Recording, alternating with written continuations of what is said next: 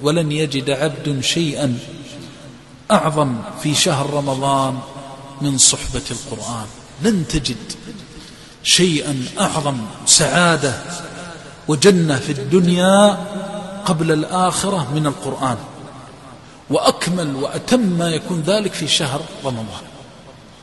وهذا هو الذي جعله الله لنبيه عليه الصلاة والسلام.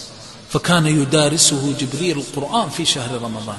فاعقد العزم من الآن على أنك تصحب القرآن صحبة لا تشعر معها بسآمة ولا ملل. كلام ربك كتاب ربك تسمع الله يقول تسمع الله يأمر تسمع الله ينهى.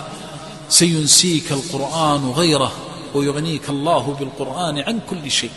فمن استغنى بالقرآن أغناه الله.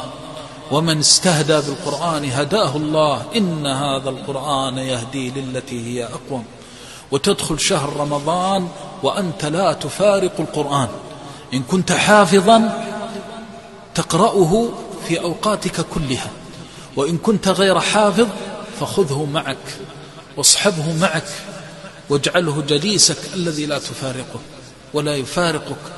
تأنس به من الوحشة وتخرج به من ضيق الدنيا إلى إلى السعة وتخرج به من عذاب الدنيا وهمومها وغمومها إلى رحمة الله جل جلاله خالقها وموجدها.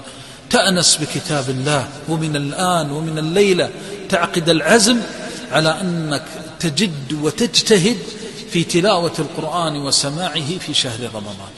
فإذا فعلت ذلك فلن ترى ولن يجد الشيطان سبيلا لكي يهد من عزيمتك أو يكل من حدة ما يكون منك من النشاط والهمة في الخير في طاعة ربك. نسأل الله بعزته وجلاله أن لا يكلنا لحولنا وقوتنا